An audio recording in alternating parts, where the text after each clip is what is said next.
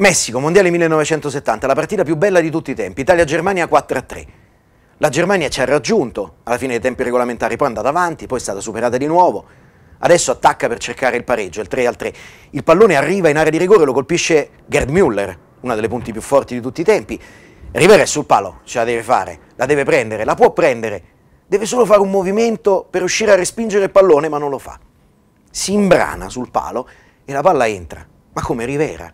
Rivera, quello che ha lottato per il posto con Mazzola, quello che poi farà scoppiare il putiferio dei famosi sei minuti della staffetta della finale. Rivera che fa un errore del genere. No, Rivera è un campione. Quando si mette la palla al centro, Rivera va in attacco, va dall'altra parte e quando arriva un cross batte un rigore in movimento e la mette in porta. Aveva sbagliato 30 secondi prima, segna il gol decisivo 30 secondi dopo.